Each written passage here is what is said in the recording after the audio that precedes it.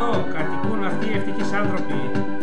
Εδώ, εδώ, δίπλα στις μεγάλες τετροσυχίες και στους ωραίους, στους ωραίους, στους ωραίους δρόμους με τα στραφερά μαγαζιά. Στα μαγαζιά οι άνθρωποι την ψωνίζουν και ύστερα πηγαίνουν στο σπίτι τους για να δουν τηλεόραση και να παίξουν τάβλη.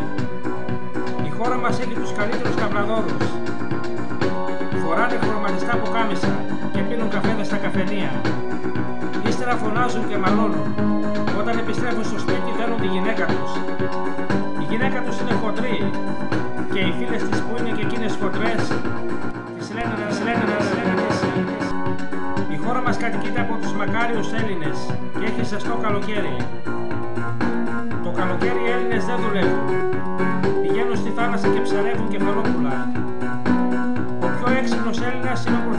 Μας. Αυτός αποφασίζει για το μέλλον της πανέμορφης χώρας μας, που έτσι κι αλλιώς είναι λαμπρό. Εδώ, εδώ κατοικούν αυτοί οι ευτυχείς άνθρωποι. Εδώ, εδώ όλοι είναι χαρούμενοι και ενοχελικοί, γιατί είναι Έλληνες.